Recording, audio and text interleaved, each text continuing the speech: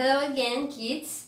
I'm Luna, I'm a Colombian flutist, and I'm going to show you the classical transverse flute. I'm going to play the Caramel Statue. This one is composed by Santiago Barbosa, a Colombian composer.